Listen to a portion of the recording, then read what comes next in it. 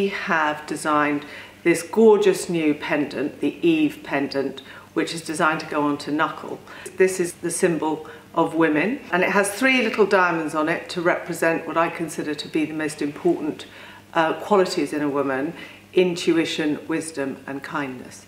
So what's really important is that £180 from each of these Eve pendants in 18 karat gold is donated to the Prince's Trust in support of women supporting women, which I am a proud patron of.